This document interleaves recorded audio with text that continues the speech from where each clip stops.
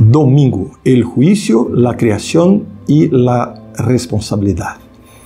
La lección de hoy habla sobre la importancia del propósito y del significado en nuestra vida y cómo esto se relaciona con nuestra responsabilidad moral y la conexión con Dios.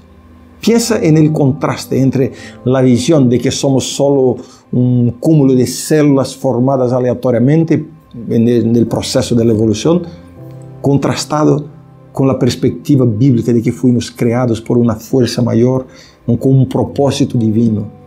A criação nos oferece uma razão para viver e um imperativo moral, porque se Deus nos criou, nós temos a quem prestar contas. Mientras que a ideia de, de la criação al azar pode deixar a vida sem um propósito claro.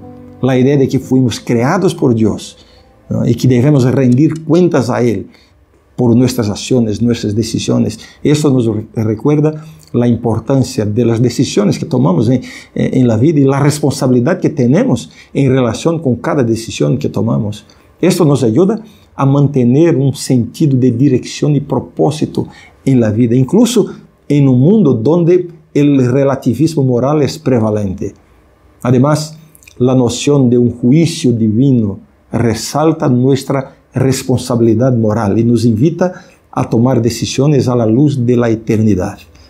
Por exemplo, a observância do sábado demonstra nossa creencia em la dignidade de Jesus como el Creador e revela nossa aceitação de los princípios divinos para viver uma vida plena aqui na Terra.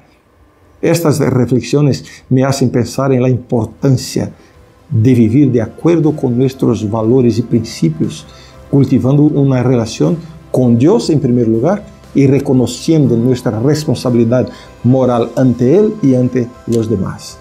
E ao fazer isso, somos capazes de encontrar um propósito mais profundo, um significado em nossa vida, mais allá de la mera supervivência, como se estivéssemos aqui solamente para viver porque aqui chegamos. Espero que estas ideias puedan inspirar-te a reflexionar sobre o propósito e o significado em tu própria vida e a importância de viver de acordo com os valores e princípios da palavra de Deus, da palavra de Deus, aqueles que consideras mais importantes para tu vida. E assim, juntos podemos buscar viver uma vida plena e llena de propósito, conectados com Deus e assumindo as responsabilidades de los caminhos e das decisões que tomamos nesta vida. Que o Senhor te bendiga. Nos vemos amanhã. Adiós.